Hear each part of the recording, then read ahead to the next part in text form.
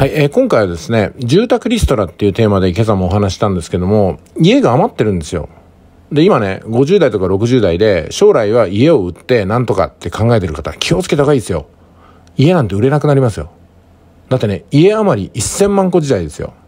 もう来年、再来年には、1000万の家が余るわけですよ。誰も住まないし、人数も少ないしって感じでね。空き家が増えると何が困るかっていうと、その家に勝手に住み着く人が出る。例えばね、シナ人とか。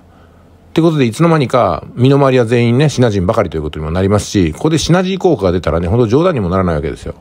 あとはね、空き家にはね、結構ゴミが放置されたりとか、それから出荷したりとかね、あの、よくわからない植物がそこで育っていたりとかって結構あるんですよ。ねなんかね、朝の感じのやつですよ。あの、実の消しの実みたいなやつ。いや、ああいうのがね、あの、空き家にどんどんどんどん詰め込まれたりとか、あと、空き家に向けて、あの、郵便物を届けるみたいなこともあるんですよ。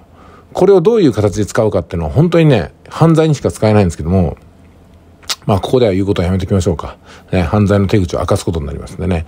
まあ、とにかく、家が余ってどうするってことになりますんで、えー、ポイントは3つに絞られています。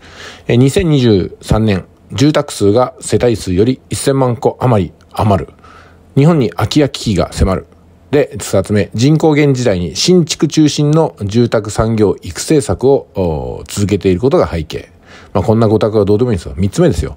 既存住宅の活用や住宅を解体しやすい環境の創出ですね。基本的に家って誰かの所有物であって不動産ですからね、その所有権をずっとね、主張しなくても守らないといけないんですよ。だから、10年以上客観的に空き家ということがわかるんだったら、勝手にね、市区町村が潰して殺収してもいいというふうにぐらいしないともう取り返しがつかないとこまで来てるんじゃないかなと思うんですよ。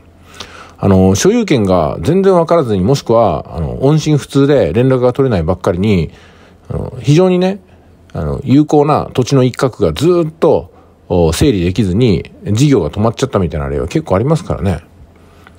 うん、あとね、太陽光ですね。完全に癌でしたね。はい。